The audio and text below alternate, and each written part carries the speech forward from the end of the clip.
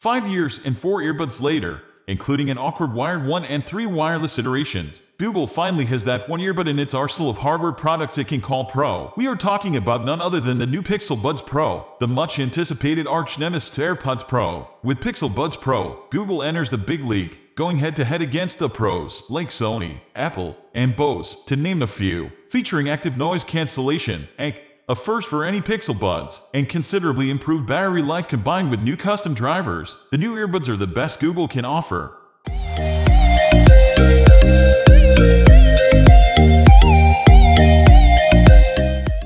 Connection, setup, and features. Pairing the Buds Pro with your Android phone is as simple as opening the lid, thanks to Google's fast pairing. So, the moment you open the case, the phone will show a pop-up asking you to pair the earbuds, similar to how AirPods work with iPhones. And, once paired with a phone, other phones like with your Google account will also recognize the Buds as paired. The fast pairing is limited to Android phones, so you do not get the same convenience with iPhones and other devices. For iPhones or other devices without fast pairing support, you can press and hold the button on the back of the case to enable pairing mode. Upon pairing the Buds Pro, you get the prompt to download the Pixel Buds app, which is necessary if you want to customize them further. However, it is only available on Android, so there is no option to customize settings on an iPhone. Similar to how AirPods are to iPhones, you can find these settings within the phone settings menu if you have a Pixel. The Pixel Buds app is simple. It shows the battery percentage for the case and earbuds, lets you set up Google Assistant, find the earbuds when lost, and customize the sound profile. There is also an option to check if the ear tips fit your ears perfectly for better noise cancellation.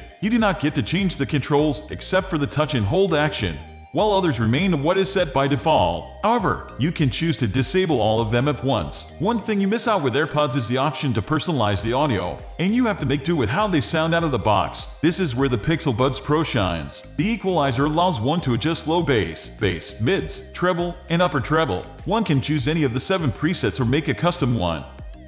Sound quality and noise cancellation. Each earbud has a single 11 dynamic driver inside delivering a balanced mix of highs and lows but somewhat awkish mids. The Buds Pro seems to have a U-shaped audio signature, similar to what we see on most earbuds and the one everyone cherishes. Listening to much of Taylor Swift's latest album, we love the warmth of the sounds and how well the Buds Pro maintain the instrumental separation. We listened to some good old Bollywood, pop, and hip-hop and thoroughly enjoyed the music. Overall, the Buds Pro sounded energetic and fun, but there is room for improvement. For the love of audiophiles, the Buds Pro also had the full-fledged equalizer, which gives them an extra point against the AirPods Pro, but the lack of spatial audio takes that away.